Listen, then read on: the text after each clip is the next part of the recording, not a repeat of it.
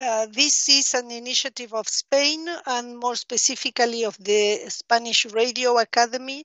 They have during many years insisted with the proclamation of a of a day that would honor uh, radios or that would um, in a way highlight the services that radio has uh, provided humanity along its history because if you think of the world wars if you think of many other historical uh, situations in our um, humanity, you know, you always have radio there somewhere uh, playing a role. So um, they rallied, they rallied behind them all the regional broadcasting organizations, the African Broadcasting Union, the European one, the Caribbean one, the Asian Pacific, so all the regional broadcasting unions and other broadcasters, and they um, they proposed this proclamation first to UNESCO. So UNESCO proclaimed it as an international uh, as an international day. But then the General Assembly of the United Nations in New York, um, upon presentation of UNESCO of this day, they proclaimed it in turn as an international day of the UN to be observed by all UN and uh, its partners. So thereby it became one of the UN international days. So it's not just UNESCO celebrating, it's also all the other UN agencies. And it was the date was chosen in the uh, in the recognition of UN radio, uh, which was created on the 13th of February, because otherwise you, in the history of radio itself, you have many countries involved, many scientific people, many many uh, technological discoveries. It's not one person that created radio station. You have people in India, you have people in uh, Italy. You have, you know, uh, if you want more about the first uh, half century that has passed, then go to UNESCO.org and you have a page of the history of radio the first 50 years.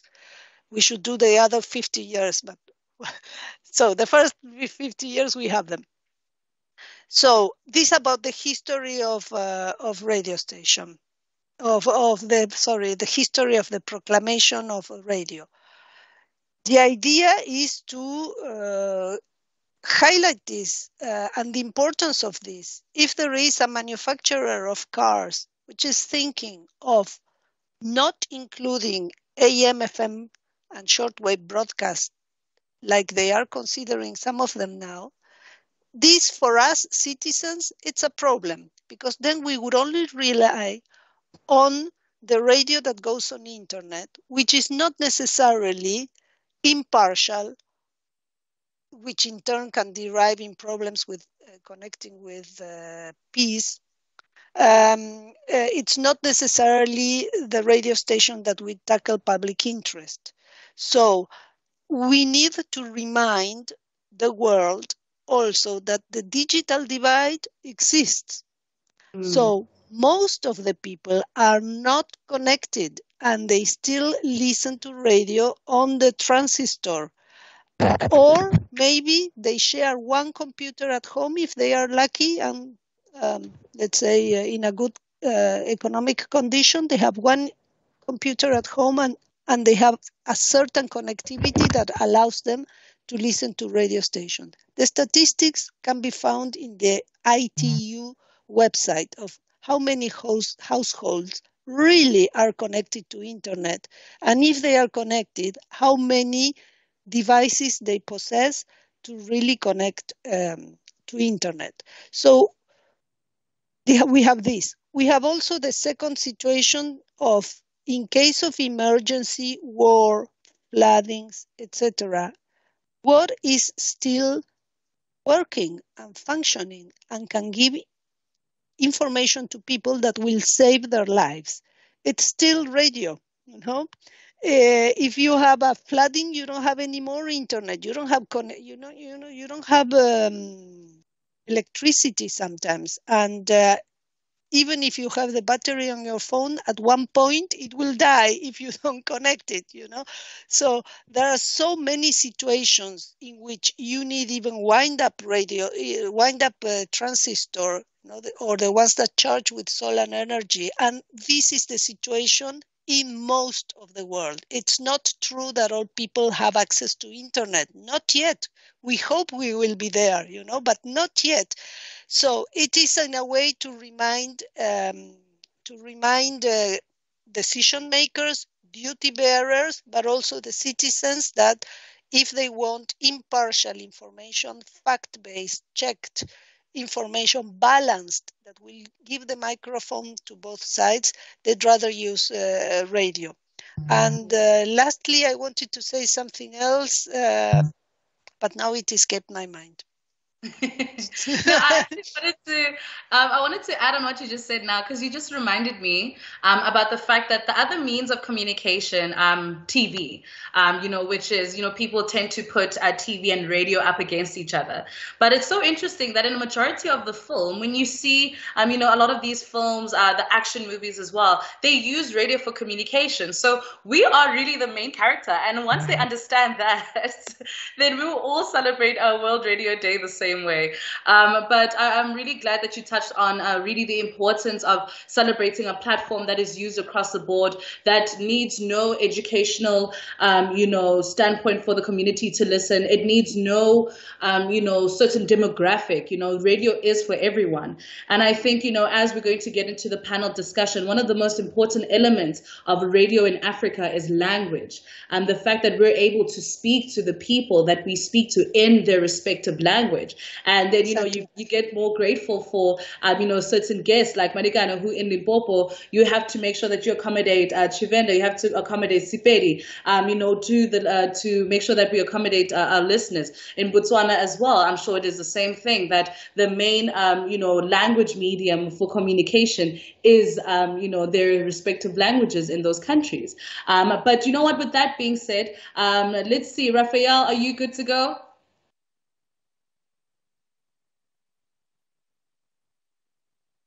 Oh, the I, I still can't hear you. I think your laptop does not does not want you to speak, and we are robbing us from greatness. from my stand, I think you're oh, no. driving it. You can hear me now.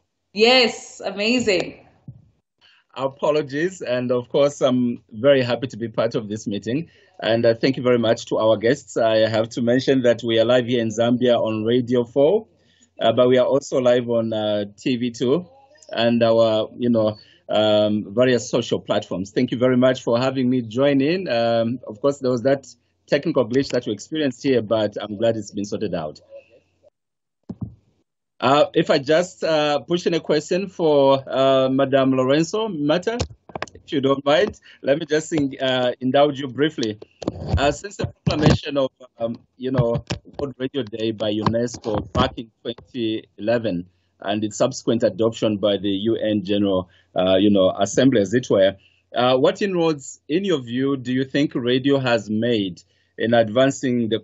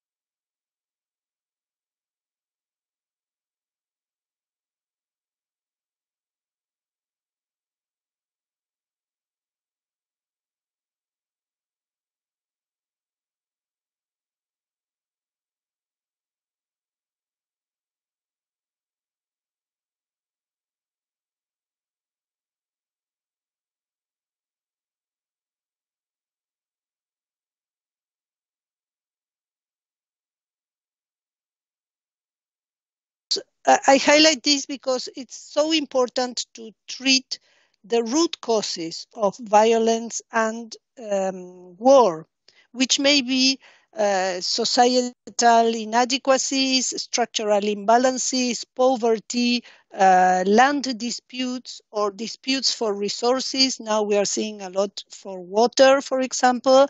So radio has this ability of dealing with these root causes before they scale up into a conflict, before they scale up into violence. And the same goes for the triggers of conflict or the triggers of war. Radio, because I said before, it's quick to react, it's quick to be on the spot, it's quick with just the microphone, can cover, for example, um, specific controversies or uh, sometimes violence upsurges, uh, pops up in a certain neighborhood or in a certain uh, community, uh, there is tension.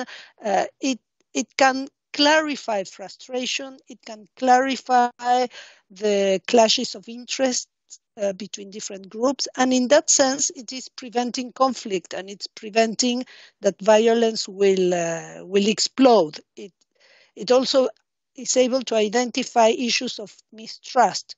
So we have in, in Africa, we have glorious examples. There are so many, I cannot really mention all. But for example, we had the Bush radio in South Africa many years ago. They had this uh, radio program um, handling the issue of the taxi gangs. I don't know if you remember. I, I think the program was called Taxi Talks, and they gave the microphone to one to the gangs one gang, the other gang, and to the listeners who were trapped. You know, you just wanted to take a taxi and you suddenly fell into a conflict of violence of gangs. And, uh, and this ended up with a peace treat, treaty, we, can we say, between the gangs, and it was brokered by the radio station. We have in, in Uganda also, we have many, many cases of eh, even local radio stations that have handled the issue of returnees and reconciliation. Because when they came back, knowing the knowing themselves and the communities the atrocities the demobilized soldiers had committed, some people in community wanted to stone them. I mean, they wanted to take revenge. Other ones wanted to welcome them back. So there was this radio station, which right now I don't remember the name. Could it be Base FM? I, I'm not sure. Who gave the word, who gave the microphone, gave the voice to the returnees to explain why they had taken up arms and gave the voice to the community to say why they didn't want them back. And you know, this is the type of service that radio does, even at a humble level, even at a community level, but which makes us stop distrust, clear misunderstanding, and go towards peace. So this is what we mean that radio is very important for conflict prevention and also for peace building. There are many other uh, examples. There, there was this uh, radio station, I think, also in Uganda that dealt with uh, these cases in which um, this is many many years ago like 20 years ago cases of people who wanted to take revenge with the neighbor or you know if i throw acid if i if i go and do this what will happen to me and in a very serious way they had um, police in the panel, they had uh, politicians, uh, there was the journalist, and they explained it was even an educational program. If you do this, this is what the law will do to that, to you, you know. Uh, so this is, these are the type of, of, of, of things that that counter the desire for revenge, that uh, the radio helps counter hate and uh, and the will to go and take up arms. Marta, we thank you for that uh, amazing response. And I think with that being said, it's the perfect time now to introduce our uh, panelists and get into this discussion where we get to unpack, um, you know, radio and peace. Um, and, you know, it would be uh, great as well uh, for all of us to have our cameras on um, and uh, to prepare for this uh, discussion. Professor John, um, I'd like to humbly request that you switch your camera on. Um, I am breaking the stereotype that people like to say that radio people only sound good, they don't look good. But uh, judging from my screen, we all look fantastic. Berta, thank you so much uh, for giving us your time today. Uh, I'd like to release you. Uh, you have a lot of work to do, and you still get to champion, um, you know, radio um, as the best platform, really, um, for non-propaganda uh, conversations and non-propaganda, um, you know, just non-propaganda essentially. Thank you so much uh, for that and would like to release you now and uh, begin the conversation with the panelists i'd like to hand over to um, my co-driver the only car that has two steering wheels raphael uh, i think let's introduce our panelist. All right um, i would like to actually hand the microphone to the uh, guests that we have. Um, let me begin with uh, Executive Director from Panos, uh, Vusumuzi Sifile. Uh, good morning and welcome to this discussion. Uh, thank, thank you, Raphael. Uh, good morning to you and good morning to everyone following this discussion. Great. Uh, could I now move on to uh, Madik, Madika? Um, please pardon me for mispronouncing your name, but uh, come in and uh, just say hello to our uh, audience.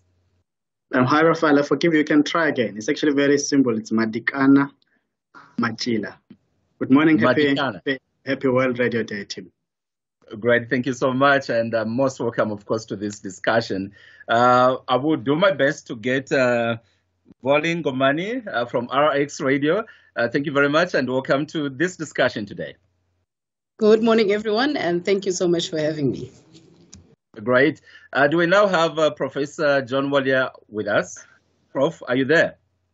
Yes, I, I can hear you. I can see you. I'm not sure whether you can see me and uh, hear me. At the moment, we can't see you. It appears uh, perhaps uh, your camera is off. But I see that you're active and welcome to this discussion, Professor. Thank you very much. I've put my camera on. Um, I hope you'll be able to see me. But thank you so much for having me.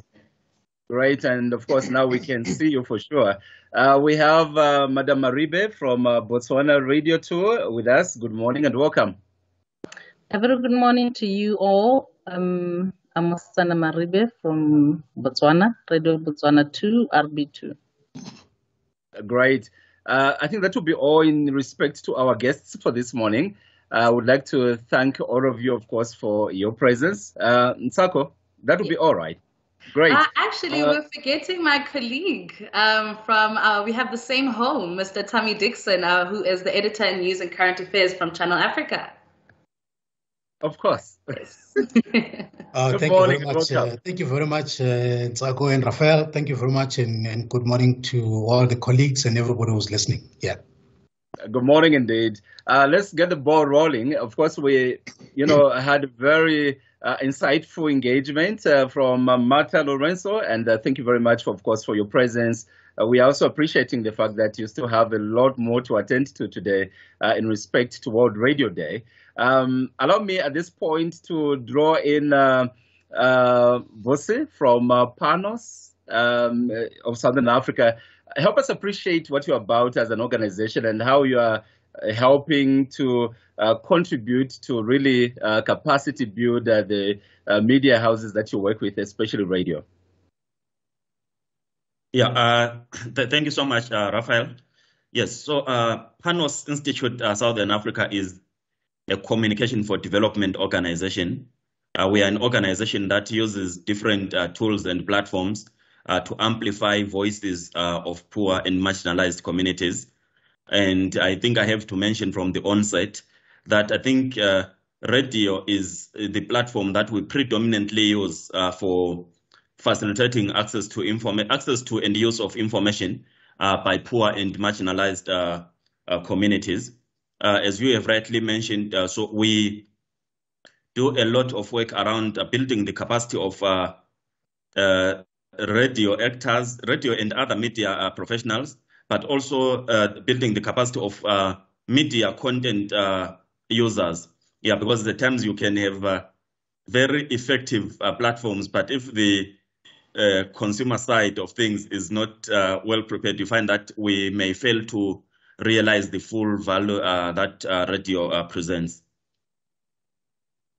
Well, I mean, of course, I couldn't agree with you more. We all appreciate at this point uh, the radio has evolved quite a lot from, uh, you know, uh, public owned to private or indeed commercial. We also now have community radio stations, uh, religious uh, radio stations as well. And there's always a possibility that, you know, we could have untrained personnel communicating with the masses. I would like to find out from you, Vusi, is this something that possibly poses a risk in how, you know, radio personnel conduct themselves and potentially uh, foment conflict on account of a lack of understanding of, um, if you like, journalistic responsibility? Yeah, uh, th th thank you very much. I, I think, uh, like uh, uh, Mata, uh, sorry for mispronouncing this thing, your our colleague from UNESCO, did mention, I think, in terms of the powerful role and the unique role that radio plays in terms of providing a platform for for engagement. And I think uh, we would not be commemorating World Radio Day without uh, the great work that uh, our colleagues who work in radio uh, are doing. So, and uh, it is uh, like radio is driven by people, the people behind the microphones, people behind the scenes, the people that most of the time we do not see, but we we, we hear. So, yeah, it is important looking at the powerful role that uh, radio has to play, as our colleague already shared, that we have uh, the right people uh, helping radio to play that role. And uh, I think uh, the right people here, I don't mean only trained people, but people who have what it takes uh, to be to be on radio. we have seen at times someone can be trained, but still do stuff that is not professional, but someone may be untrained, but because of the passion, because of the interest and other strengths, they can still uh, flourish. So, yeah, there are many dynamics I think that uh, uh come into play. And uh, in my view, the most important thing for anyone working in or with radio uh, is to know, to understand the responsibility that they carry. like Mata mentioned that like radio is uh, undoubtedly uh, still one of the most widely used uh, mediums. And because of that, just one action of misconduct or just a, an act of mischief by someone on air can turn a whole nation uh, or a whole community on fire. It can cause serious, irreparable damage, but also just one, uh, I think we all know we have seen maybe cases uh, in in, uh, in Africa and elsewhere where there have been like outbreaks of xenophobia, outbreaks of uh, genocide, and other undesirable situations, which in some cases would have been just because of one person on not two people, just one person on radio saying a, a wrong thing. Just one wrong word can literally distort uh, the whole thing. So it, it is very important uh, for people that uh, work in radio and those that use radio to ensure that we have a very high level of uh, responsibility so that we are able to take advantage of uh, the power of radio to build uh, and not to, to destroy, to promote peace and also to identify and prevent the spread of hate speech, disinformation, misinformation, and other undesirable, uh, harmful, or misleading content. Thank you very much. Nsako, would you like to probe him further? Um, actually, I had a question regarding. Um, I, I think I'm interested in the world of conflict um, mm-hmm. and and what conflict actually means and the power of uh, presenters because you know I am a presenter myself and I know that whatever I say um, needs to come from a place of wisdom, understanding, and fact um, as well. Uh, what have you seen um, happen um, in the past year regarding that? Do you think presenters understand their platform? Do you think we understand the role that we play? Or do we sometimes just enjoy hearing our own voices? And let's be honest, um, from time to time, it's really enjoyable to hear your voice. But do you think, from your perspective, we actually understand the platform that we have? Uh, I would say uh, to some extent there is uh, some understanding but there is uh, maybe I would say there is room for improvement. I, I, yeah, there is room for improvement in terms of uh, the extent to which uh, presenters understand their mandate, they understand their role. But of course, uh, we do understand that radio has evolved. It continues to uh, to change. Earlier, Mata spoke about digital radio, or was it yourself? And like we are living in an environment where the way people seek, share, and receive information is constantly changing and in a very fast-paced way.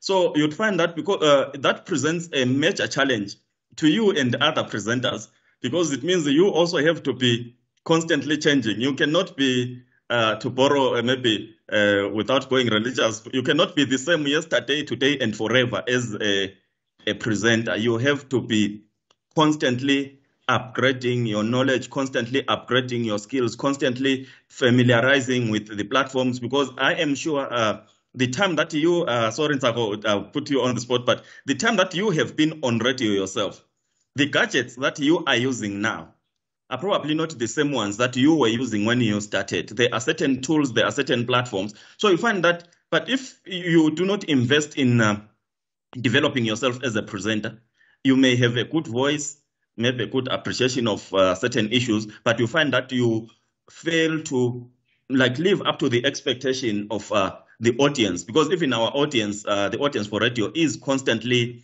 uh, changing. So I think uh, there is a big challenge for radio presenters uh, and everyone that works in and with radio to constantly be adapting and uh, ensuring that this medium that we so love uh, remains relevant, it retains its power, even as there is all kinds of uh, other platforms that are emerging. I think for radio to retain its power, for radio to continue uh, being a symbol, a symbol or an expression of our peoplehood, it takes uh, uh, the people that work in radio, colleagues such as yourself and and Raphael.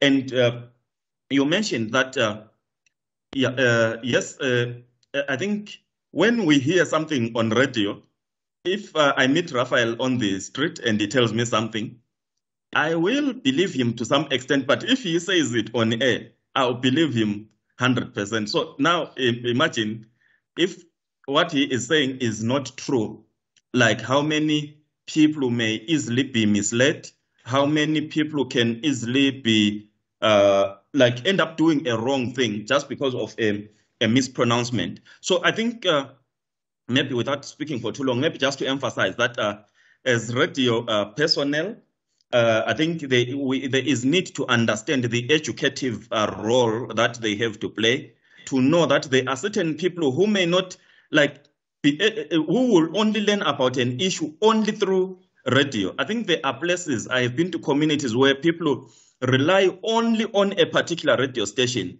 as their platform through which they learn about certain information. And if they don't hear it on radio, they may not hear it anywhere else. And also I think uh, uh, we need to look at radio as a gatekeeper or as a watchdog, preventing uh, the spread of harmful or misleading content in terms of preventing the spread of content that can uh, disturb peace or like the law enforcers will say content that may cause a breach of peace yeah so i think uh, radio has um, a very important role but for that uh, to be sustained it takes all of us to, uh, to play our part. Thank you very much.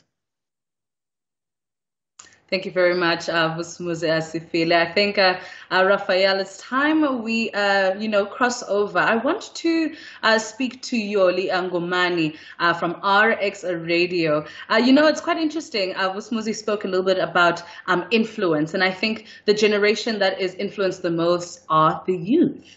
And Radio RX, RX Radio rather, has taken a very unique, um, child-centered approach um, to your content. I just want uh, us to just unpack that for a second, um, and then we will move forward from there. You know, what is your approach with your content? Yeah, sure. Um, so basically, RX Radio is a radio station that is by and for children. Um, it is the first of its kind in the world uh, to have child and young reporters with and without chronic conditions broadcast from within a hospital. We are situated in Red Cross Hospital, Cape Town, and we broadcast into other hospitals, Brooklyn Chest and Paarl Hospital.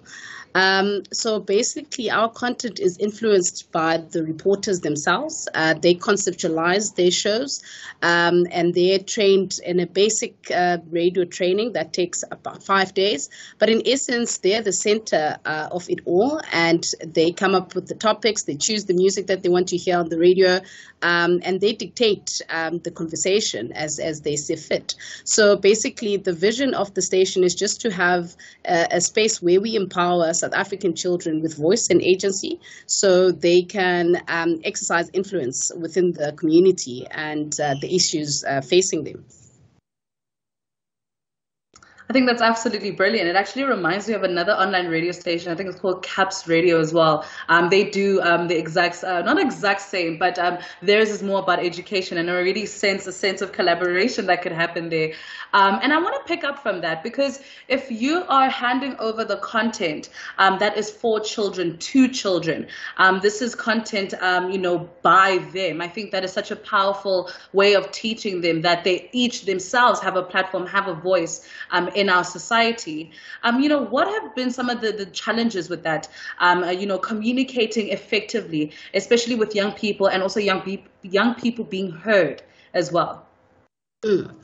I think actually not necessarily challenges, I wouldn't say. So I think it's important for me to highlight that 80% of our reporters are children with chronic conditions. So that means as children with cancers, as children that have conditions that will never go away, right? And disabilities.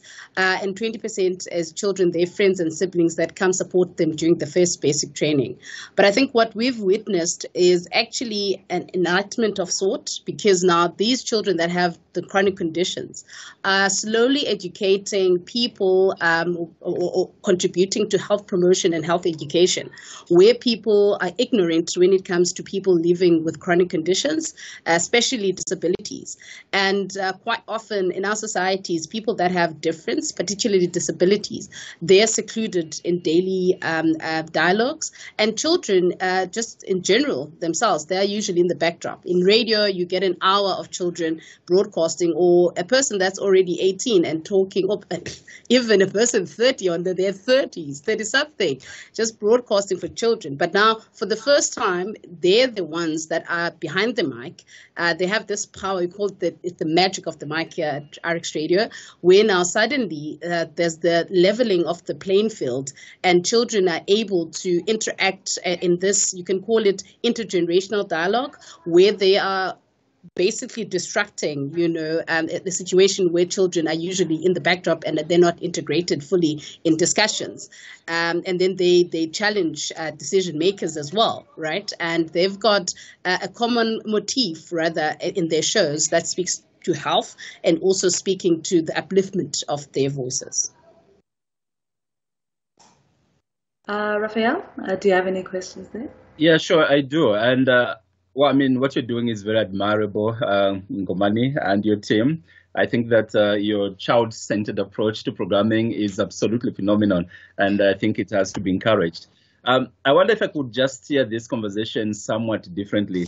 Um, we all understand radio's influence in uh, shaping and, uh, you know, um, modeling, you know, culture and uh, basically how society approaches uh, matters of uh, peaceful resolution of disputes. Um, just how critical do you think it is to engage the young people, the children, uh, to have conversations around vices of, uh, you know, ethnic clashes, um, tribalism, uh, religious intolerance, and things of that sort? Just how critical is it that a child or children are engaged in this sort of conversation to confront the status quo?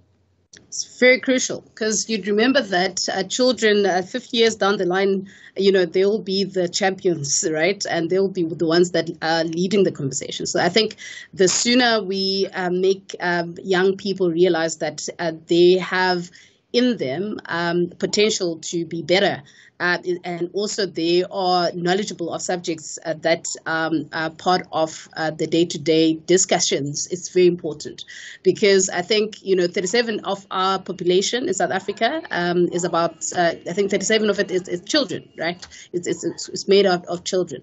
So I think the sooner children are talking about mental health issues, the sooner the children are part of you know, discussions that have to do with war.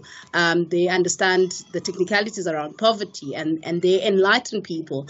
And also us with our health promotion and health education, so which is them breaking the stereotypical views that have been ongoing for years um, around difference is very important as well because they're shaping, you know, the, the perceptions that people need to have and, and how they would like to be addressed. So suddenly they are able at a younger age to morph a society that they would like to exist in. And the earlier they do that, then that means that possibilities of us, you know, being in agony and also people being, you know, um, um, judgmental and people not being able to be tolerant of others, um, those chances of those negativities are just slightly, you know, you know, cascading. So I think for us to build those building blocks earlier, we are able to uh, create a society that has got uh, individuals that are, are, informed, individuals that are able to interact, individuals that are able to understand their rights and also to challenge uh, things that or issues that they're not uh, happy with. So I think it's very important, and radio is a good um, start uh, as as a platform where people can be confident and also can be informed uh, earlier on. I think that's brilliant. Um, you taking me back to my um, school days as well, and realizing that radio was, you know, what we listened to on our way to school, on our way back. Um, you know, you just always felt like you were part of this community. You felt like you were in the room with them. You just felt like you had friends that you've never met before. Um, and I think you're doing some very important work, considering the fact that young people sometimes feel like their voice is not heard, feel like um, you know, they do not have a platform um, for societal issues and their and you know, also just establishing their confidence as um, as young people. I think it's very very important the work that you're doing, and we just want to appreciate you for that. Um, and also thank you for giving, um, you know, the young people as well who have been shunned by society, um, those who are living with certain abilities, and uh, those who do not have those same abilities. so thank you for your platform. I'd like to uh, move on uh, to uh, Mr. Tammy Dixon, um, who is the editor of News and Current Affairs at Channel Africa. Um, you know, when it comes to news and current affairs, I think the other word for it is propaganda. Um, and especially with uh, Channel Africa, you know, we are driving the African perspective. You know, just just starting off, um, you know, the conversation from there. You know, in your view, do you think we're owning and honing um, the African perspective uh, the right way? And this is not just us as Channel Africa, but this is, you know, every broadcaster in Africa. Do we understand the African perspective? Well, thank you very much, uh, and your colleague uh, Rafael. well, you you are right. I mean, uh, being located in the African continent, it brings a huge responsibility to people who are on the radio because there are a lot of influences that are coming outside of the continent. And some of the conflicts that we see in the African continent are actually sponsored conflicts. They are not uh, organic conflicts, uh, but they are sponsored by people who have different agendas who are coming from outside of the continent.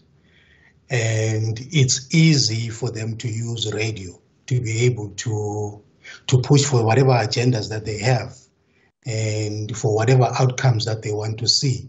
It could be political agendas or economic agendas. So as radio stations and or as media houses that are stationed in the African continent, it is important to ensure that the messages that we bring to our audiences uh, are not messages of gloom. Sometimes we have a lot of that from the uh, from the media houses that are not based in the African continent or that are not organically African, and and and so the messages that they, they put across about the African continent uh, are messages of gloom and, and messages of an, an, a continent that that has no hope. And and also they can actually maybe they are trying to get hold of the resources that we have in the African continent. And it's easy for them to foment conflicts using radio. And, and, and it's easy for them to even plant people. And we talked earlier on about uh, people who are on the radio. So the credibility of people who are on the radio is, is, becomes very, very important. That's why in, in news and current affairs, we make sure that we screen people. You, we've got to screen people who, who come on, on the radio so that we know that who are these people. There's a lot of dishonesty out there, people who are carrying different agendas, people who are embedded with, with different organizations that have different agendas. So it is important to screen people who come into the radio, especially on news and, and current affairs, so that we don't we don't uh, sit with a problem of people who claim to be journalists or reporters, yet they're working for some donors out there or working for some uh, civil society organizations who carry different agendas, or in some instances, people, uh, reporters who are working even for political organizations and political elites uh, that foment uh, conflicts in the African continent because they want to achieve certain political outcomes. So, so in, in, in, in news, it becomes very, very critical in terms of who are the carriers of information. And do these people understand the whole concept of, of uh, looking at developments in the African continent through an African perspective? Because we, we like I said, I mean, we there's, there's now a huge uh, spotlight in the African continent. We're not the only ones, uh, even in, in terms of radio or just the media in general. We're not the only ones who are operating now in the African continent. There's a huge interest in the story of the African continent from media houses that are coming from outside of the of the African continent. We know already of I don't want to mention names, but I'm sure we do know, know the names of massive media institutions that are based in the in the continent already. And they, they are no longer sending people now to the African continent to get information and send it out and distort it and twist it and, and, and all of that. But now they are bringing resources within the African continent to be here, to be with us here, so that they get this information firsthand. And also, they are looking for the ears of the population of the African continent uh, in order to be able to spread these messages that they want to spread about the African continent. So radio becomes, in as much as we have all, we all agree that it is a great tool for information, um, for peace building and so on. But radio also plays, it, it's a, like a double-edged sword it can be used quite successfully by people who, who, who drives different agendas. And the conflicts actually in the African continent, um, uh, uh, um, they, they become more more entrenched because people use the um, the platform of radio. I mean, I was reading the, the the article as part of my research that in the conflict in Liberia in the in the mid 90s, one of the problems there was that the former president there, uh, Charles Taylor, was owning media media platforms. He had radio stations and newspapers that he was owning, and they, they were using those um, um, to to be able to to advance whatever agenda that they have, which actually led to the killing of many many people. This is the problem we see throughout uh, the African continent as well, in terms of the control of the media. Uh, the control of the media is an issue, and in some of the conflict situations in the in the African continent, it is it is, is it is as a result of the the state-controlled media, and and and which is used, which they use to be able to advance their political agenda. So it's it's it's something that is quite very important that we are raising, Zako, about how we view ourselves and how are we looking ourselves as, as African people and and one one of the one of the sources of this challenge is that it's in the news because the the the the, the information that comes out that comes in we have to send people out there to bring that information. And if those people who are bringing that information are not credible themselves you run a risk now of actually disseminating that information through radio that is going to you know create a lot of conflict out there so we, you, you got to be very clear about the, the information that you bring into the radio station and how you package it in order to pass it on to your to your to your to your listeners. Because radio has uh, has has has has a potential and to to to influence you know public opinion and also how you frame that information is also quite important. Because sometimes the conflict is as a result of how stories and how issues in our society are being framed. So the framing of the news itself is, is quite critical. How do you frame it in such a manner that it does not spark uh, tensions, it does not create, and so that you, you, you don't um, and, and make the situation worse than it, it already is. So that, that's I think that's that's what we I think we need to to to be aware of and, and make sure that those of us who, who sit in a position of gatekeeping in radio to make to make sure that we we clean up the content. We don't just pass content to the audiences um, without making sure that we, we scrutinize it and make sure that it is a it is a content that that is not going to create tensions and create conflicts uh, in our people. Yeah. Raphael? Well, I mean, very interesting uh, insights that you have shared, uh, Tammy. And um, well, with everything that you just stated, I'd like to draw in, uh, uh you know, our colleague Mosetsana Maribe, uh, station manager for uh, Radio Botswana, 2. given the, the the, the interest in, uh, of course, uh, coming up with uh, the various uh, media houses driving their own agendas, how do we remain relevant as a traditional, uh, you know, medium of communication, so that we advance the peace that we all desire to have? Uh, are we still, you know, are we still really playing that role as effective? I know that you have been in the industry for a long time. 1965 is a long time. Uh, what have you seen change in the landscape of uh, radio programming, for instance? Thank you very much. Um, let me just say, um, as the Department of Broadcasting Services in Botswana, we run three television channels and two radio stations one being the Radio Botswana, um, the one which was uh, started broadcasting in 1965. And then we also have Radio Botswana 2, which started broadcasting in 1992. Uh, Radio Botswana, the main one that started broadcasting in 1965. Um, it mainly, or for the longest time, has been broadcasting um, to the whole nation because for quite some time it was the only radio station in the country. Uh, we, we do have uh, private radio stations now, which are almost the same age as Radio Botswana 2.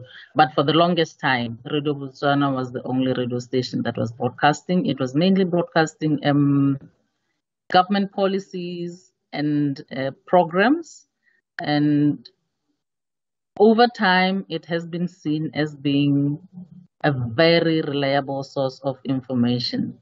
Even if there is um, um, breaking news in these smaller radio stations, people wait for the main bulletin of Radio Botswana to confirm whether it's the the, the right information. Um, what we have been doing right is we are very cautious with the information that we give out to to the nation.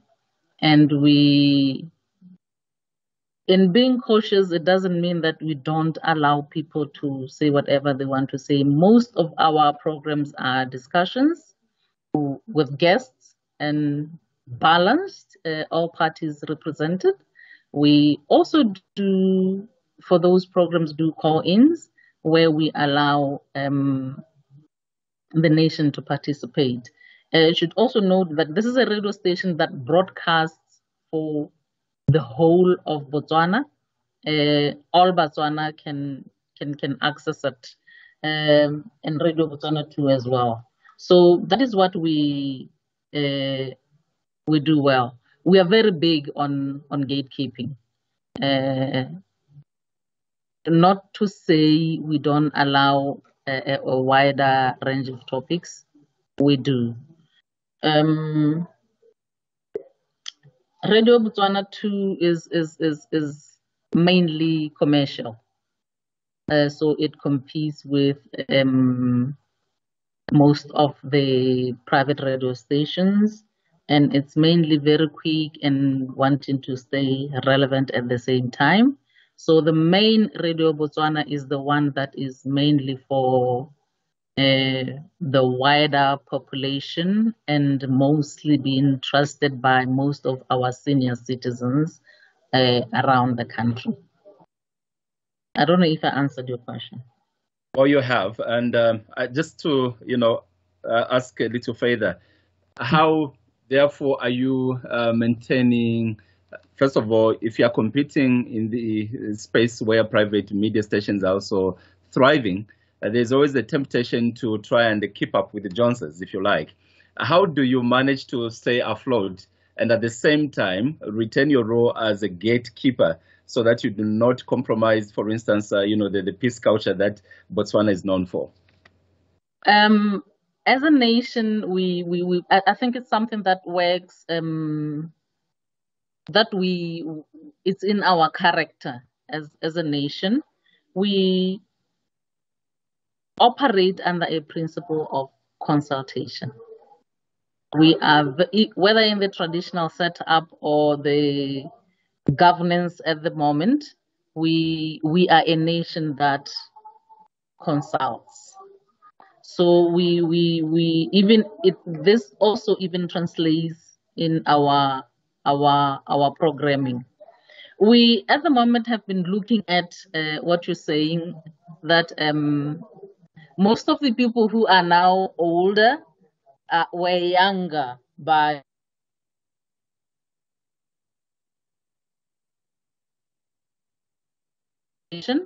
we don't want to really we want to, to to, to keep the the trust that people have in it.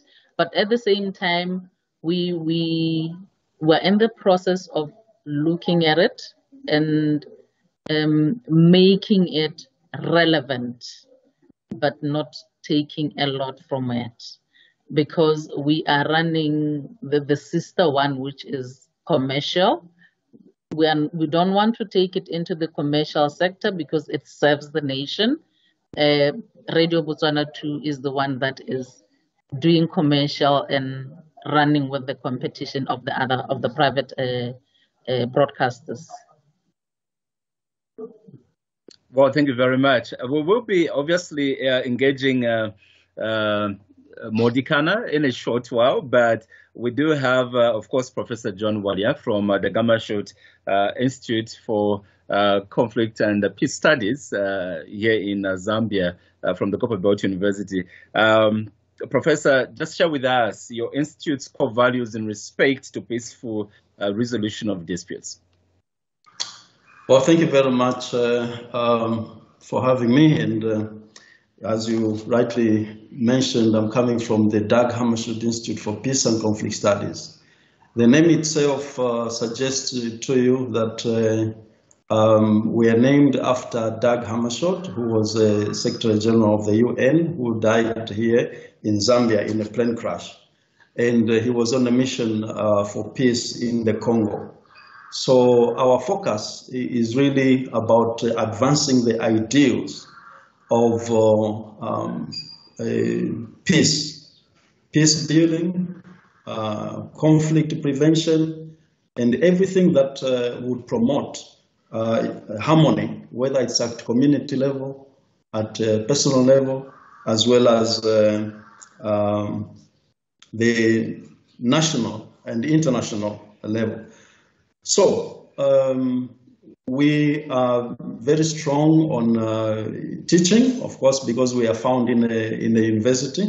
Uh, so we teach uh, uh students who become ambassadors of, uh, of peace. Um, they will be in, uh, they will be working in non-government organizations, in government institutions, or they are working on by themselves, or academics who contribute to research again around peace building. We are also big on uh, uh, seminars and conferences, short courses. Um, we've organized uh, many high-profile um, uh, international and national conferences uh, on peace building, on xenophobia, on uh, ethnicity and conflict, politics, elections, all those things that are conflict generating uh, we we speak about those uh, uh, those matters. So really, we are involved in teaching, in research, and in seminars as well as short courses. That's basically the role of the Dag Institute for Peace and Conflict Studies. And maybe I should say it's important to know uh, where we're coming from because we're not just uh, it's not just an academic unit in the university. Uh, the formation of uh, the Dag Hammarskjöld Institute uh, is, was um, initiated by the UN country team, United Nations country team, and the Minister of Foreign Affairs, Government of the Republic of Zambia. so we are an organ that has emerged from a very high level of interest in peace building. I just want to come in there. Um, you know, peace is a there's a, a, huge philosophy behind peace, a very personal one, um, and it looks different for everybody. Peace um, to someone may look like having a very full bank account. Uh, peace to someone else may look like running in a field full of tulips, um, and then peace to another person may just be that violence itself. Um, I want us to unpack what peace looks like um, in, in, in, African countries um, and in Africa. Um, why I'm asking this question is because I want us to get into what we as broadcasters need to communicate about peace. Um, and I think that comes with the understanding of what it needs to look like. Um, um, does it look like coexistence? Does it look like a genuine appreciation of a different country? Does it look like, you know, better trade relations? What does peace look like from the African perspective? Uh, thank you very much for that question. Um, that's a big question. What does peace look like uh, in an African context? Uh, let me begin it this way. Really, when we're talking about peace in broad terms, we're talking about harmony. Uh, now, that harmony uh, begins with an individual. Uh, you have to have peace as an individual to be able to contribute to peace in a community and peace in, in, in, in the world. So when, when, and there's, there are quite a number of uh, variables that can contribute to individual peace. You've talked about a bank account or your food and all those things can uh, influence or can, can affect the, the, the, status of peace of an individual and the status of peace even in a community. If a community is hungry, uh, it's very difficult to uh, see that uh, you will see you you observe peace where people have faced starvation or threat to their lives because they don't have the basic necessities we have seen on the African continent uh, riots and uh, looting and things like that, which disturb the harmony. So, from an individual level, if uh, we have uh, peace and we have all the variables that contribute to attaining peace, then we'll be, we can transition to the community. Uh, but I think uh, it's also important to note that uh, generally on the African continent, when we talk about peace, even globally, uh, those who do research and studies in peace will, will tell us that there is negative peace there is positive peace. So uh, you can have negative peace because there is no visible, audible uh, evidence of, uh, of conflict or even war. But in actual fact, in people's minds, in people's hearts, there is something that is eating them. And that is where institutions of government sometimes they make a mistake. They hush the people, they hush the discontent, and uh, when people don't uh, act, they think they've attained peace. But people are just bottling uh, the, the, the, the, tension. And when that is bottled at, at some point, it may just erupt. And you wonder, where did this come from? There has been, uh, there has been what looked like peace, but it was just negative peace. But we should transition. Africa must transition to, to enhancing positive peace, where indeed you have peace. You know, when you say people are not complaining, indeed they are at peace with themselves, they are peace with uh, their neighbor, and peace with uh, everybody else. So I would say, to, to, to a large extent on the African continent, we see a lot of negative peace. Mm. And I, think you, you hit a, the nail on the coffin there because I think about, you know, where I, I currently am in South Africa, um, where I, I, feel there's a negative peace that's building up, you know, the power cuts that take place here, um, you know, the lack of service delivery sometimes that we get to experience. Um, and, you know, sometimes you look at the people and you think, are we being too dormant? Are we being too relaxed? Are we being too calm about this? Um, but now you've put a really a solid name on it, negative peace. Um, and I want to come back to that because I think our leaders uh, play a very big role, um, if they're not the core, of some of the uh, peace relations or, or the peace um, that happens in our, our, our countries. What is the biggest misconception about conflict resolution in African countries? Well, uh, again, the biggest, uh, um, you know, when we use the, the, the term uh, uh conflict resolution, when you resolve, you are saying the conflict is completely ended. Mm. It is not going to recur. It has been resolved. Whatever it is that was uh, uh, causing that conflict has been dealt with. Um, but the, so the, the, the, misconception has always been uh, to think, as I said, the negative peace, without going deeper to see that the grievances that people might have had have been addressed. The alienation that people must have failed, which could have contributed uh, to their resorting to violence or even war, have been addressed. So the issue is, are we addressing the real issues uh, that cause people uh, to erupt into violence. In fact, when I use erupt uh, uh, guidedly, because it, it's not just that it erupts suddenly and we didn't know. There are always telltale signs. And I think uh, the panelists here have indicated that, you know, that's where radio comes in. Uh, you'll be able to deal with some of the potential or uh, uh, things that are indicating that in the future, if they are not addressed, uh, they could lead to violence or even war. So it is important for all our leaders uh, to really interrogate, uh, think beyond just power, beyond their term of office, uh, to think about legacy, think about uh, the next generation. What, how will this impact our children? So when we deal with uh, problems, we really resolve, to use your word now, we resolve the conflict. They, they, they are different.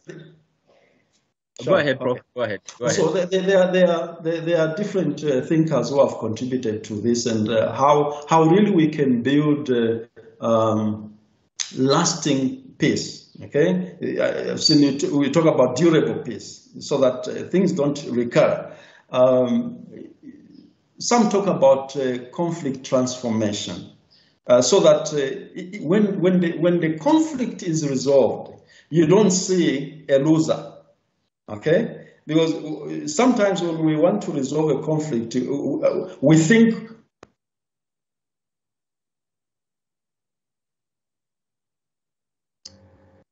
don't know if it's just on my side. I might have lost Prof there.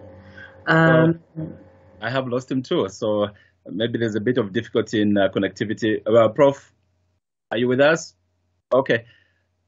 It would appear we've lost him momentarily, and uh, we'll be reverting to him, of course, as we go along. Uh, very interesting insights that he gives us, and of course, I still have uh, maybe one or two questions to put to Professor but I'll be reverting to him as and when, of course, the connectivity is uh, cleared out.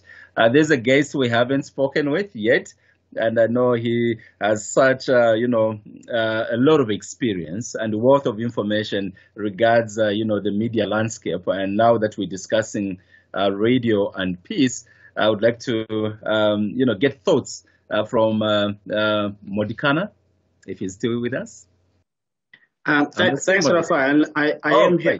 Yeah, I am here. Yeah, it's quite, it's yeah. quite unfortunate that we lost Prof um, because he was uh, really picking up some interesting points when when, when coming to peace. Um, look, I think I, think maybe just as a maybe just as a precursor to this study, let me just start off firstly by uh, profiling the SABC's radio division.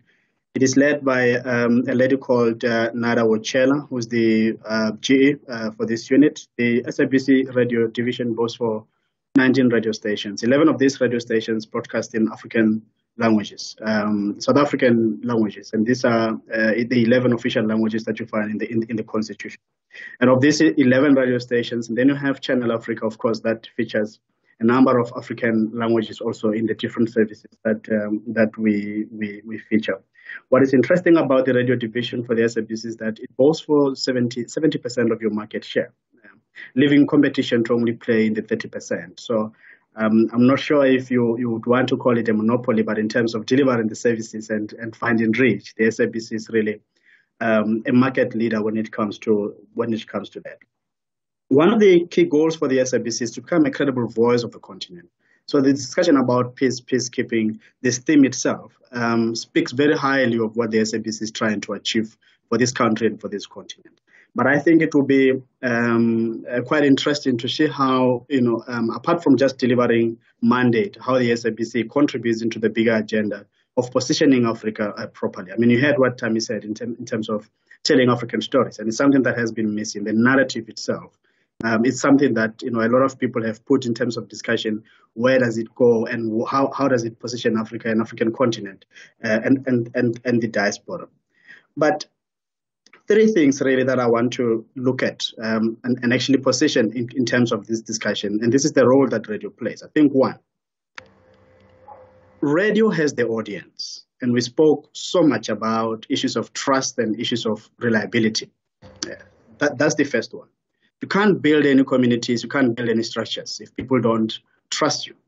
And for people to trust you, you've got to be this reliable person, this reliable body, and everyone needs to connect with. So that's the first one. I think, and over time, radio has built that the reliability and the trustworthiness that has come out of the news, out of the programs, and everything else that has to do with radio.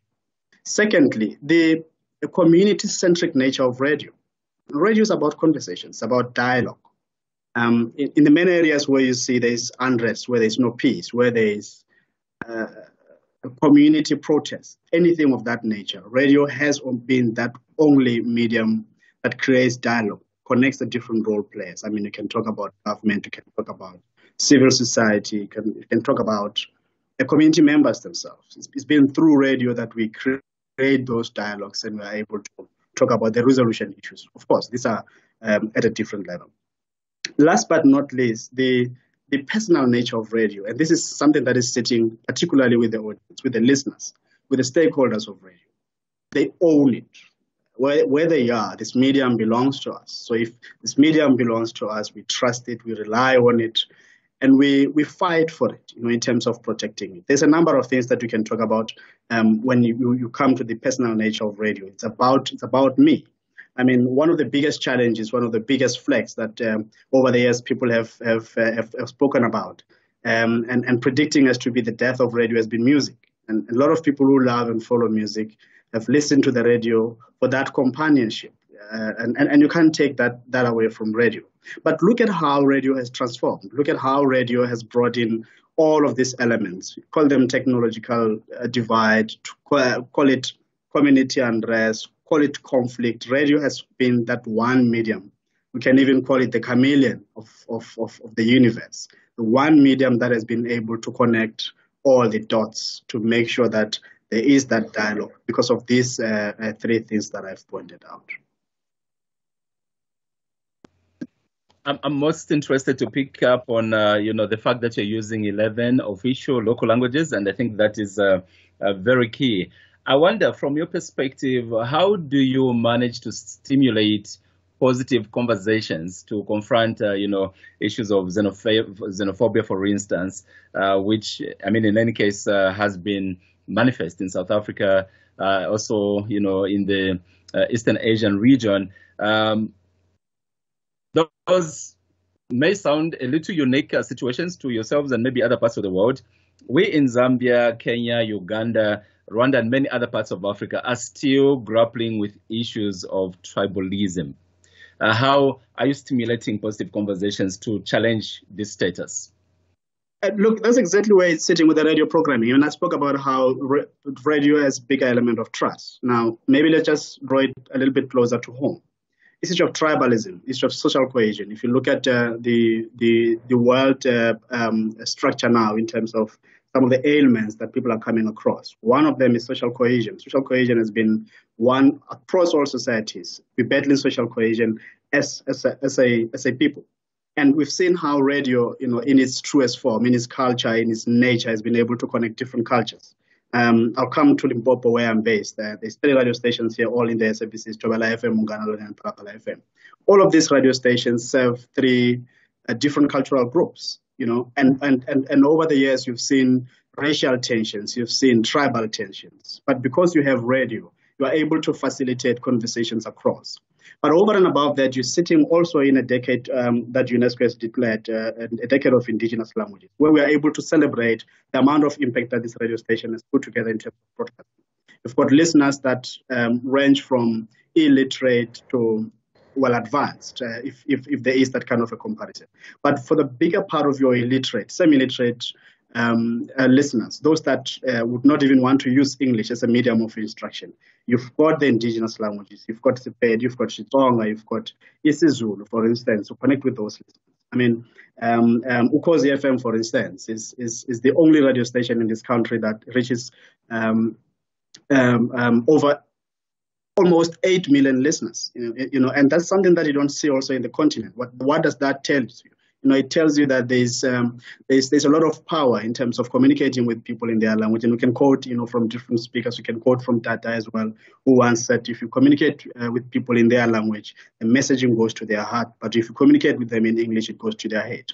So we've been seeing how you know the, the, the use of African languages has transformed the SABC. We've seen how it also transformed different communities because you speak to them in a language that they understand. They are even part of these conversations because this is not a one uh, way kind of uh, messaging, but it's also you know some form of a, a um, an interaction where people are able to follow and comprehend what you're saying as a presenter, what you're saying as a radio station, and be part of those conversations. I want to link um, two events here. Um, Prof spoke about, and Prof, we're so glad to have you back. Um, you know, Prof spoke about, you know, a negative peace. Um, that was taking place, which was also caused by uh, different inequalities uh, within communities. Where you're situated, Marikana, is probably 100 kilometers, 98 kilometers at most, um, away from a different African country, uh, being Zimbabwe. Um, and, you know, the relations between the two uh, countries, um, you know, has been something that I feel uh, needs to be worked on.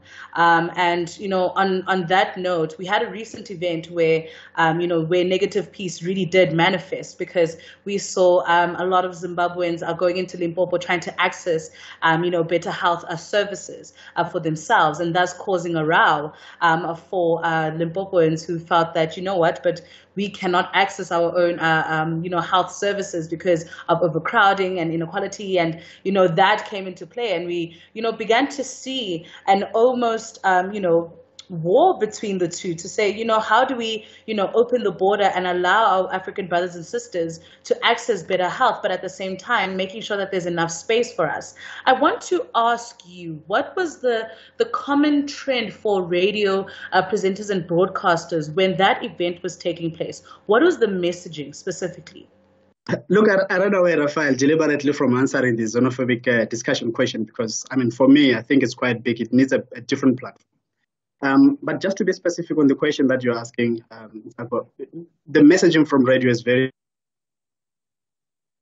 uh, um, the the the border gate from Botswana into into Limpopo is not even 98 k's. Uh, same also in terms of Zimbabwe. You know, we just just we, we we neighbors and we do all of these things together. I mean, there's a lot of spillage of the three radio stations that you have here in the province in Zimbabwe and Botswana as well. Um, there's a little bit of Radio 2 also in South Africa that you know people around the areas of Lephalale are able to listen. But what is the messaging? What is the the, the core of it um, that you're driving as a radio broadcaster? It's content. You know, we, you're sitting here at a Musina Makhado Special Economic Zone where the activities um, for people traveling into South Africa and out of South Africa into the continent generates a lot of revenue for this country and the borderline countries, Botswana, um, Zimbabwe, and, and, and, the like. So from where we're sitting, you, you, you know, you, you are sitting with a, a bit of a communication challenge, but our programming, we've got calendars that are Thobela FM calendars that are in Zimbabwe, Lapala calendars that are now in Zimbabwe. We've got calendars that are Thobela FM that are now in Botswana. So our messaging has always been very simple. We are neighbors. Um, we've got what we call developmental programming where we talk about how um, crossing into South Africa from Botswana benefits South Africa, and crossing into uh, Botswana from South Africa benefits um, benefits um, um, the other countries as well. But to be honest with you, issues of xenophobia um, are very sensitive when it comes to messaging. So our messaging have always been that of brotherhood. Um, if there are spillages, if there are issues of xenophobia, let them be addressed at a, at a different forum. But with us, the messaging has been You know, we need to uh, see how we trade together. We need to see how we share talent. We need to see how we collaborate better as the different countries. I mean, you've got a, a huge number of um, uh, Zimbabwean migrants in Limpopo, but we've not seen any acts of uh, xenophobia as much as you people suspect that you see them in the different parts of this country. Um, so that's why I'm saying the issues about xenophobia really, I think, would need a different discussion. But our messaging in terms of radio has been that of power, has been that of collaboration, has been that of celebrating Africa. I'm like now, today is World Radio Day. We're connecting with Radio Mozambique. We're connecting also um, with uh, with uh, with Zambian uh, um, um, radio stations just to see how you know the communication element in terms of radio have been quite big uh, from where we're coming from in South Africa. So it's positive messaging. Positive messaging, absolutely critical. Uh, we now have uh, Professor back uh, here with us, and uh, you're most welcome, Professor. Uh, you were stressing, you know, some points just before the line unfortunately cut. I'd like to find out from you, as a stakeholder in advancing peace, Professor, what is your perspective of how media and radio, especially, can effectively be used as a tool to resolving conflicts? Uh, thank you very much. Uh, uh, and maybe just retracing, I think it's good that we are focusing on this. Uh, this year's theme uh, is focusing on radio and peace. But I think Tammy made a very fundamental uh, contribution about radio as a tool. Now, because it is a tool, it really depends on in whose hands is it. And the, the, the person who has the radio and has intention to do harm I can use the same radio to uh, create conflict. Uh, but if, if the one who has the radio, who is holding the microphone, who has power over the airwaves, is in, intending to build peace, to prevent conflict, that is exactly what is going to happen. And we have both examples on the African continent. We've had radio stations which have been, uh, uh which have contributed to uh, human rights abuse and uh, a lot of uh, conflict. But also we have many radio stations, including yourselves. Uh, I've had opportunity to live in Botswana and I've also had opportunity to live in South Africa. And uh, I was listening to radio in both countries. And even here in Zambia, I listen to radio a lot. And I want to give you an example. In 2020, uh, we partnered with ZNBC, which is a radio, uh, Zambia, Zambian Broadcasting Corporation. Uh, we had a 13 week program uh, where we were talking about uh, issues of, uh, because what affects us in our local, even the rest of Africa, is these ethnic differences. We were trying to unpack people understanding. So radio plays a very important role in education. So our part was to educate ourselves, share our education. Really, people pride themselves in that I belong to this tribe. But do they even understand what the word tribe means? So we, we started to look at uh, the sociological understanding of tribe. Really, it's uh, not as complementary as we might want to think. Okay, because it simply refers to a non-primitive group of society or group of people that belong to a certain uh, uh, language grouping and they are ruled by a particular chief, they stay in a particular area. So from the sociological point of view, looking at a very primitive group of people. So it's like if you say, what is my tribe? It's as, as if you are saying, what, what group of primitive people do I belong to? You know, to put it uh, very crudely. So we, we, we tried to help us understand that some of the things that we, we try to cling on so much may not even mean what we, we think they do. So uh, that was the whole series. So we begin to partner with uh, institutions like yourselves. So your question again, um, really, institutions, I want to again see uh, in that question ourselves as the Dag Hammarskjöld Institute for Peace and Conflict Studies. We recognize that uh, radio as a platform and building on Tammy's words uh, is a tool that can be used significantly, powerfully uh, to promote peace, uh, to build society. And we have seen in places where there have been conflicts and in the post-conflict uh, uh, period where, you know, when there's a conflict, there's a lot of mistrust. Uh, people don't trust each other in the community. Everyone is a, is a suspect that they're going to cause some, some harm to you. People even lose trust in, gov- in institutions of government. Uh, people lose trust in the police and in the army because these are the people who are bringing a lot of harm. So, uh, radio begins to build bridges uh, through programming, the kind of programs that are deliberately uh, put up. They begin to build or mend relationships, reconciliation, uh, negotiation, and people begin to have a dialogue. You know, when people are fighting, when there's a breach of peace, people are not talking to each other. So radio provides a platform for dialogue. And in peace and conflict uh, uh, discourse, dialogue is very important. That people begin to talk to one another. Uh, they are being heard. Uh, so it, it, radio provides a very big platform uh, which uh, resonates with the conflict prevention steps that we normally would take. Um, I, will leave it there, but you can ask if there's a, a, something I've missed. I want to come in there and ask, uh, pass a question through to Yoli Ngomane, who um, is championing the youth um, uh, in uh, broadcast media uh, through RX Radio uh, South Africa.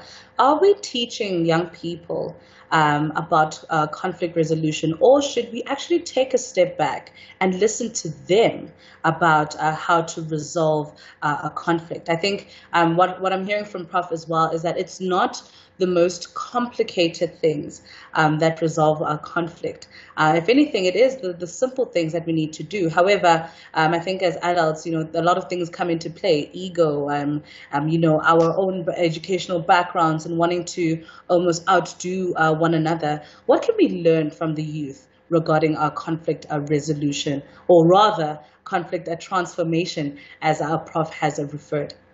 Yeah, thank you so much. Um, so I think what adults tend to do, they want to speak on behalf of young people uh, specifically children, and uh, don't want to listen with an intent to integrate them in the dialogue.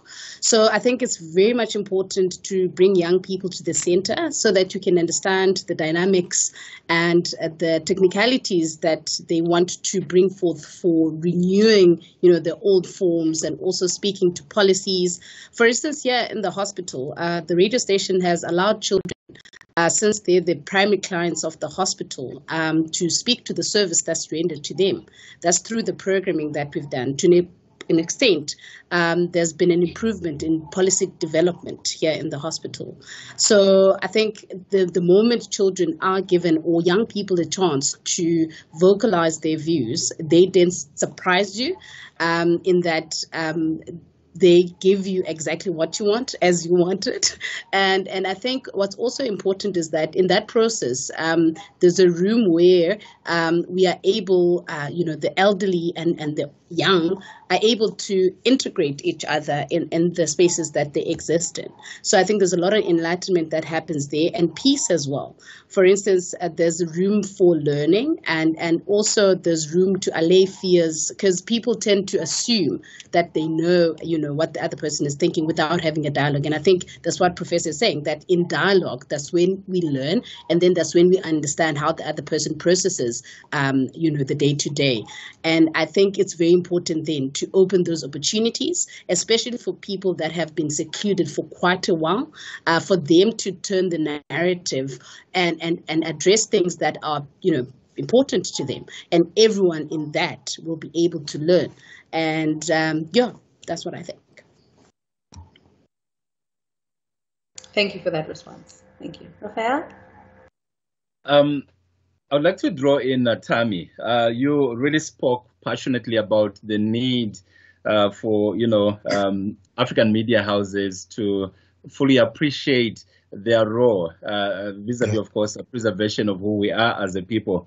Uh, I wonder what would be your recommendation in respect to how do we allow the private media, for instance, to play out at the same time uh, bring in a regulation that uh, helps to keep everybody else in check.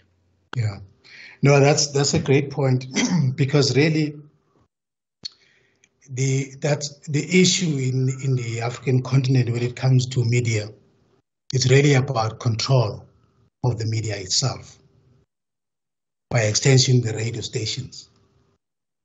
Because um, if you don't check that, then you're going to, it's going to be easy to romanticize radio, right? Uh, you can romanticize it because, like, like I said earlier on, in itself, radio is fine. I mean, it can do whatever you want it to do. It depends who controls it at the end of the day. It depends on, on the people who are there controlling it. I mean, look, look, for instance, at the station that I work for, Channel Africa. It has a history of having been started by the apartheid government. They had a reason why they did that. You know what I mean? They established it because they had they wanted to glorify their own apartheid system to make it to look good.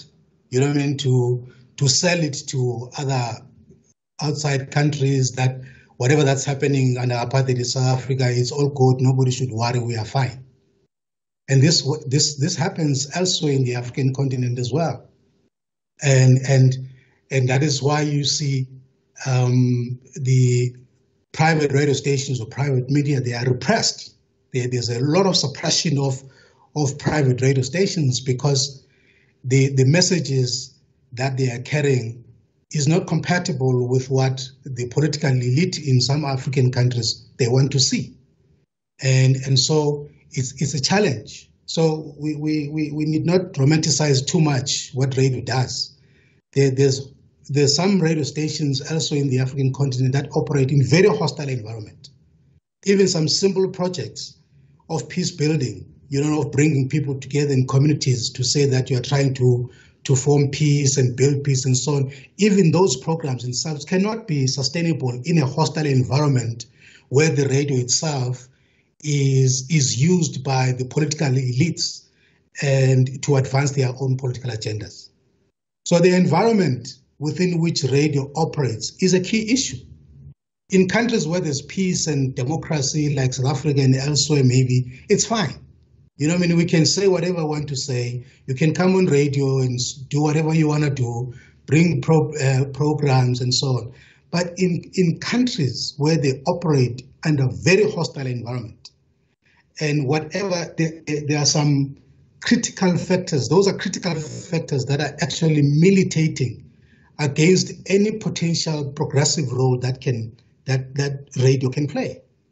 So so the, the issue of having private media or private role or private radio is important. It's quite important because it assists to ensure that the, the credibility of your message. Because radio stations that are controlled by governments in Africa, unfortunately, have no credibility in the eyes of, of, of people. They, they have no credibility. I mean, look at what happened in Zimbabwe. I mean, during the crisis of the political the political crisis there in around 2008 as a result of the of the uh, the election conflicts there. I mean, um, a lot of radio stations were closed, newspapers were closed because the message they're carrying out and is not compatible to the messages that those are in power want to see happening in society. So it's very, very important the issue of who controls actually this, this radio station, who controls it, because that determines the message that you're going to get out of that radio station. It also determines who's going to be employed in that radio station.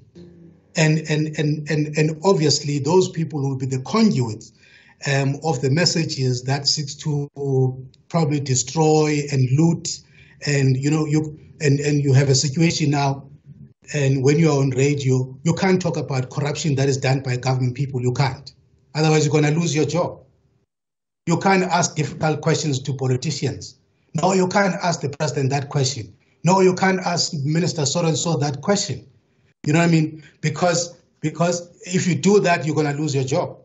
You know what I mean? So you you you have to comply and and toe the line. It's uh, because the, the radio station that you are working for is actually controlled by the very same people who pay you.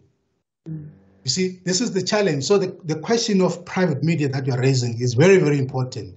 That the African continent needs to create space for a media that is not state controlled. There's there's no other way. And and in countries where there's peace and, and democracy, maybe we may not understand this. But in countries where there's conflicts, it, it is a big thing because the quality of the message that comes from such institution is discredited. It's totally discredited, and you, you, you, those people they have no interest, even if they want to build peace. And that peace, it must be peace that actually help to sustain their own programs. So that's not peace. So they, they're suppressing people. You may think that there's peace because there's no violence, there's no action, and yet people are suppressed to create a, a you know what I mean, a, a false situation that there's peace, and yet people are and people are suppressed so that they're not they don't get to know what's going on and they don't get to voice their own opinions and so on about what's going on in their countries. So the role of media that is not controlled by the state is very, very critical so that people can be able to say what they want to say. Even citizens can be able to call into the radio without being told, no, no, no, no, close that and and you know uh, close that. Why, why people are talking about that? No, no, no. So it's controlled. There are people who are listening to the programming, and if they are they are irritated about the messages that they hear on the radio, it's easy to pick up a call and say, no, no, no, no, just just end that. So mm-hmm. the role of a media that is not controlled by the state in the African continent, especially in countries where there are conflicts, that is critical. So as to ensure that the message that goes out to people is a credible message. And unless we unless we address that, and we we will always just you know have have uh, the African population that is that is not really aware about what's going on in their countries because they don't get um, uh, credible information from from different government institutions. But you also run a risk of those radio stations themselves. I mean, what we see, for instance, here in South Africa, with the community radio stations, they started very well, community radio stations, started very well with a clear defined role in terms of their contribution into societies. But you look at them now, some of them, they've degenerated to being a playground of government spin doctors. You know what I mean? And they just, they use them as just as platforms to just pass information on and, and to unsuspecting audiences out there without them being questioned and without being asked difficult questions. So what what how do you say that information then is credible? Because we can't just say radio is a great platform for information, you know what I mean, to pass all information to people without scrutinizing the credibility of the message that goes out. Mm. We, we can't do that. It can't just be that. No, it's a great platform for, for information and people listening and so on. We, we have to be critical. We have to scrutinize the, the message that people are being told because they, they could be, you know, I mean, they, they could be misled about a lot of things and they, they, they could be lied to. And so that's why it is important to have people on the media, in the radio, that will be able to say, no, this is not this is not how it should be. This message is not correct. That information, somebody talked about fact checking, you know, information that comes through. You can't just be taking information and you pass it on and and to people and then that that information gets to mislead people and people get lied to and then it sparks uh, confusion and tensions and later on it could create some conflicts mm. yeah Thank you uh, for that. Um, I we have questions coming in from uh, YouTube. Um, I'd like that uh, each uh, panelist try keep it um, at two uh, two minutes for your answer because this one is for all of you. And also guests are more than welcome um, to ask questions to our fellow panelists. Um, uh, please make sure you direct the questions either on uh, uh, Facebook, YouTube, or Twitter at Channel Africa One on each uh, platform. So we have a question coming in uh, from Mubanga Lumba, who says, "Would the panel share more insights?" On the role of radio freedom in the freedom struggle of South Africa and Namibia, which was hosted in Zambia during the liberation struggle. Um, we'd like uh, that, I know it's quite a mouthful, but uh, we just hope that each panelist can at least try keep it at at least two minutes so that we have a chance for more questions as well. Thank you. I'd like to hand over. Um, yeah, whoever would like to begin that one uh, maybe a bit of perspective on SACO. It's a very interesting uh, question. Uh, mm. you may appreciate for some of our guests that may not be aware that uh, ZNBC, for instance, hosted uh, Radio 3, uh, which channel was used to basically um, allow individuals that were outside of their countries within the Southern African region to be able to reach out to their uh, you know, communities and communicate uh, messages of, uh, you know, freedom struggle, if you like. And I think that is uh, the perspective you must have even as you respond. Thank you. Uh, sorry, colleagues, I just want to also get in there um, because we are a bit, uh, you know, tight on time. Uh, we, can, we, don't have to all answer the question.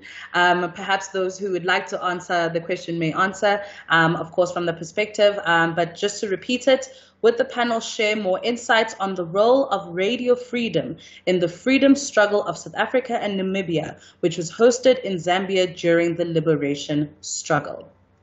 Uh, like to hand over to the first uh, up, Mr. Tammy Dixon. You can respond.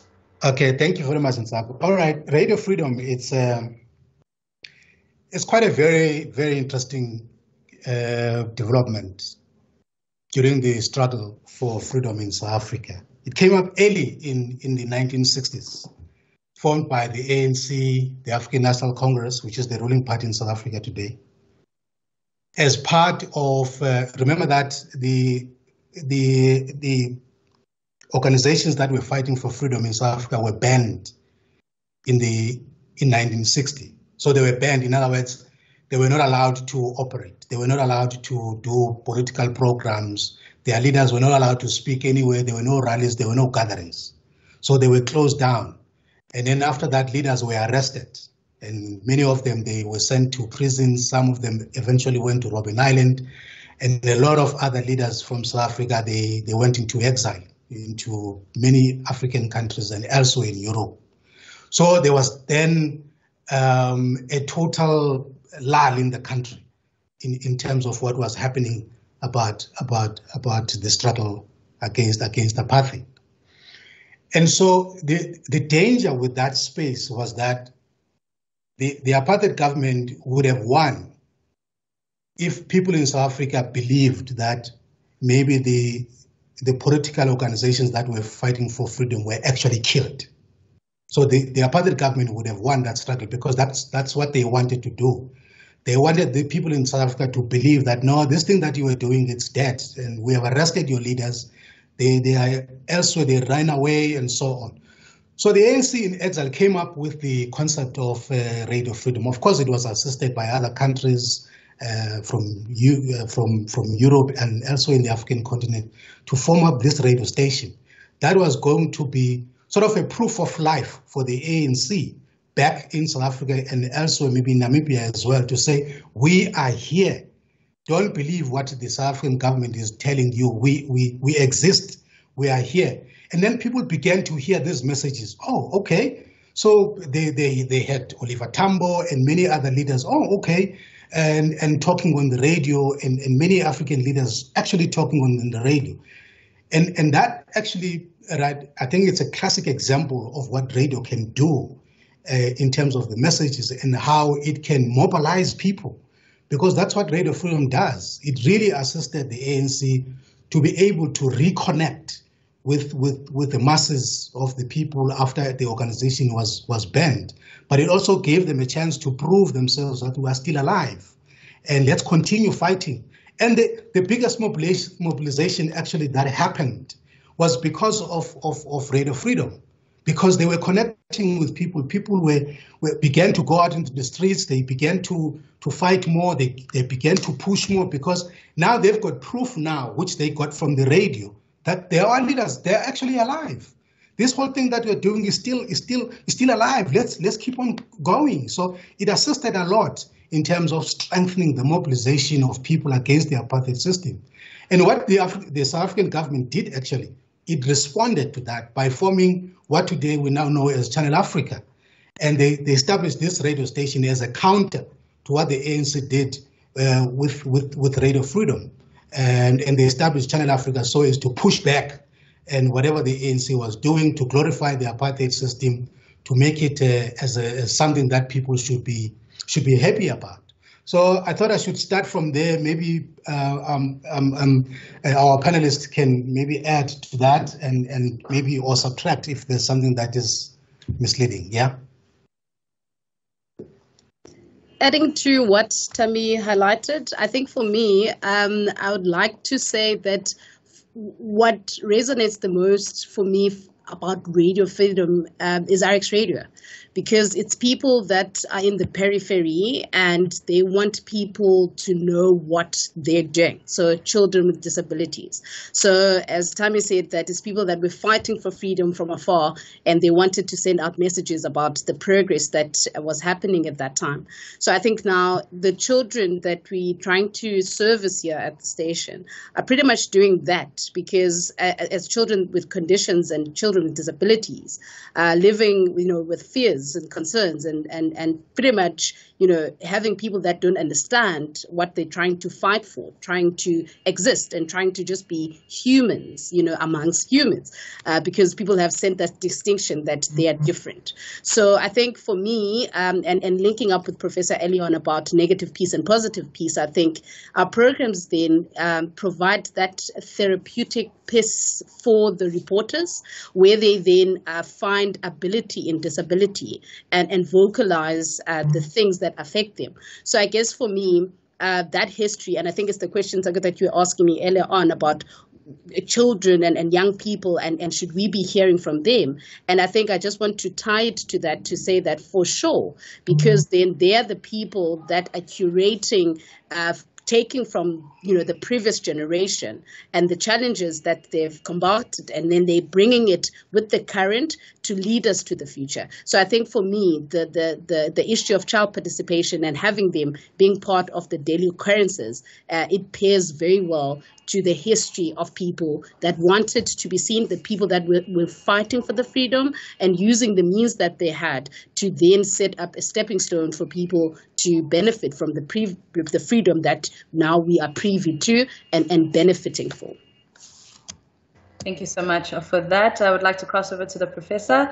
Uh, after the professor uh, shares his uh, views, we'd like a 30 second closing statement and then we will close uh, the webinar officially. Uh, professor, over to you.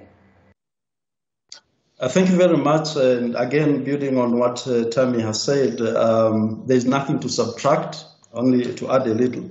and I want to add, is quoting what the late Secretary General of the UN, Kofi Annan, said in underscoring the importance of radio and what uh, radio freedom, and by the way, there were other radio stations also uh, which were supporting the liberation. Radio freedom for the ANC, uh, Voice of Namibia for SWAPO, and Voice of the Revolution for ZAPU and the ZIPRA, then Voice of Zimbabwe for ZANU and ZANLA, all these were being used to communicate. Now, what did Kofi Annan say? Kofi Annan said, radio gives voice and visibility. Now, these were people who, were, who didn't have a voice in their countries which they were trying to liberate. They couldn't get uh, uh, to communicate with their people, to strengthen them, to see that, okay, look, we are still going to win. Uh, they didn't have that. And radio bridged the gap, it broke the distance and went into the homes. And by the way, in South Africa, uh, during the apartheid period, even to listen to radio freedom would have been a crime. So you had to listen when the lights are off and uh, in your quiet uh, moment of uh, in your house, so that uh, you are not heard or you are not even betrayed by the informers and things like that. But the important point is that radio penetrated uh, into their homes, including those who were supporting apartheid. They had. Uh, so radio uh, gives voice to the voiceless and also brings visibility so that, uh, because, you know, uh, people want to be seen that, uh, okay, have you seen me? Have you, if you can see me, perhaps you can hear me so that we can communicate. So it brings voice and visibility. Um, and I wanted to tie in, uh, you know, this is why the United Nations uh, in peacekeeping missions has recognized radio as part and parcel of peacekeeping.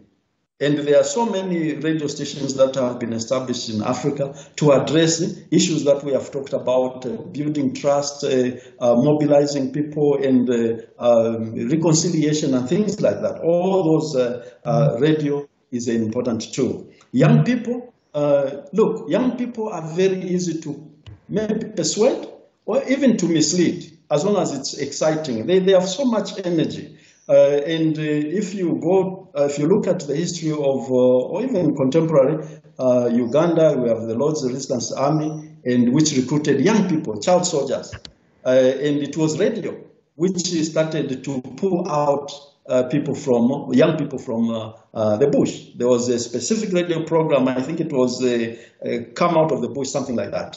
Um, then, but I, I, wanted to end on this note. Uh, because we have talked about so much the, uh, the importance of radio in building peace, um, again, the panelists here have indicated the people that are holding the microphone, do they know about peace building?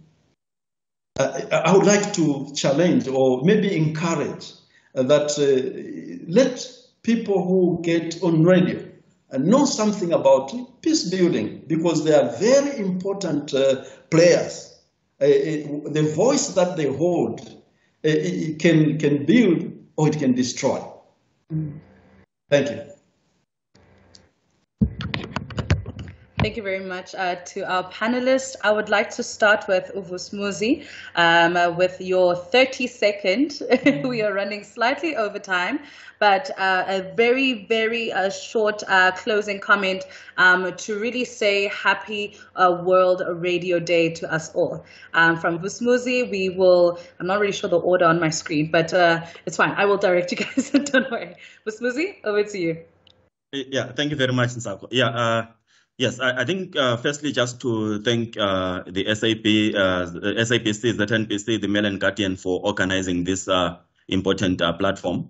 Uh, I think, like we mentioned earlier, that radio remains one of the most widely used used mediums across Africa, and it is a medium through which we see ourselves as a people. It is a medium that reflects our peoplehood as a society and I think as we commemorate uh, World Radio Day, we need to uh, remind ourselves, remind each other of the important role uh, that radio plays in promoting peace and also in identifying certain things that may threaten uh, the peace that we are enjoying.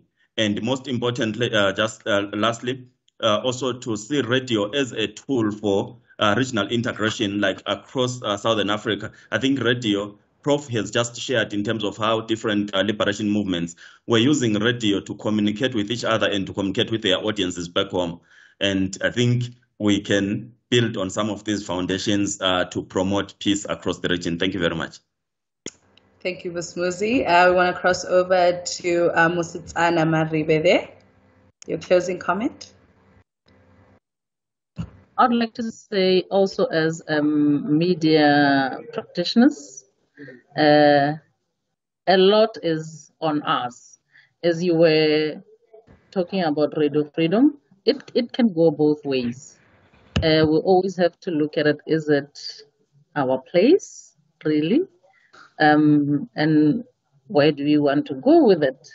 The minute you, we should look at the issues that we have at hand and, you know, make very deliberate decisions on them. But uh, the issue here is is peace. If you do it for the other party, uh, what is coming your way from the other party? Uh, so we should always weigh our options. Is it our place? And what is our responsibility as uh, media practitioners? Thank you. Thank you, Musitsana Maribeve. Uh, Marikana Majila, your 30 second closing comment. Uh, thank you. Thank you so much for for um, for this insightful um, seminar. I think it's just two things. I think two things that we need to constantly work on, over and above what has already been said, is two things. It's radio management, the people that are in the forefront of managing radio, and two, the regulatory space. Um, these are the two things that can cripple radio. And if we're not uh, going to work tirelessly on to make sure that they keep improving, they keep on the taps, um, then the future of radio uh, will will definitely um, be in the dark. Thank you very much, and thanks so much for having me. Thank you, Marikana Majila. We're going to go up to Yoli Ngomani from RX Radio SA. Sure, thank you so much. I'm grateful for this opportunity. I think for me, I could say that um, it's very much important that uh, we know and understand that radio will always be relevant, uh, but it's a matter of how people are using it. And I think it's, it's morphed now into a multimedia, you know, type of um, program. And I think um, it being that movement is very important now uh, to make sure that young people are in the forefront and are in the center um, of it because uh, it, it, it, provides a space for people to talk about things that are concerning to them and for you know the audiences to be educated going forward. So and i think it's got a, a huge potential in breaking down a lot of stereotypical views concerning to our daily challenges. And it brings peace as well uh, to the country that we live in that has got a lot of challenges and misconceptions around how we are as human beings. And i think um, for RX Radio. Uh, for people that don't know RX Radio, go to our website, www.rxradio.co.za, and it's really a movement that's set to advocate for children's movement and children's rights and for children to have a voice, you know, in the future and continue to be well-rounded citizens. Thank you, Yoli. Tommy Dixon. Thank you very much. Uh, this this has been quite a very insightful, very great uh, platform and discussions. The views that they've come across quite very, very interesting. But what I would like to, um, the point that I would like to make just as an appeal that um, to all of us who operate radio within the African continent, I think we need to come closer to each other and in terms of partnerships and create space where we can share information because we, we're talking to Afri- African audiences. I think the, the big picture here, which we should not lose, and I know that we are individual radio stations, we are running maybe after our own revenues and, and all of that. But I think the big picture that we should not lo- we should not uh, lose here is that we are all talking to African audiences. So we need to find space uh, where we can collaborate, have partnerships, share information. I mean, Channel Africa is, is one of the unique radio stations of the SABC. I mean that uh, that that none of the radio stations that are that belong to SABC do what the Channel Africa does because we talk to every corner of the African continent uh, in five languages. I mean, five, I mean, one radio station cannot do that. But Channel Africa does that. I mean, we, we use five languages in one radio stations. We we are in the Francophone Africa, we are in the Anglophone, we're in the Lusophone Africa, Kiswahili, we are dominating there, and and Nyanja language as well, we are also dominating there. So I'm saying we, we need to find space where we can collaborate to ensure that uh, our content that goes out to our African audiences is, is a shared content. All right? Thanks, man. Thank you, Tommy. Uh, Professor. Uh, thank you very much. Uh, uh thank you for having me on this very important uh, program and uh, wish the broadcasters a very happy radio day today. my concluding remarks are that let's keep speaking with one another. it is only by speaking that we exchange ideas and we get to hear what uh, is in somebody's mind, and we could prevent a lot of uh, conflicts. Africa is uh, going towards integration. That's the Africa we want, Agenda 2063.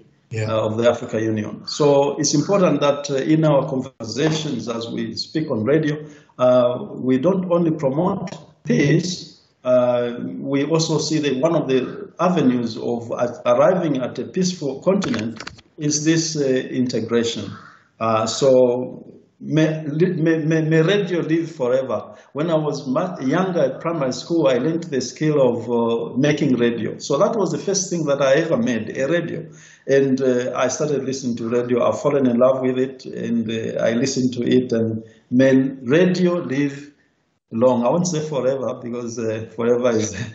Uh, but let radio survive for a very long to come. You have a very big role to play in um, uh, fostering a, a, a, continent that we all have. Thank you. Thank you very much. Uh, my co-driver, the car that has two steering wheels.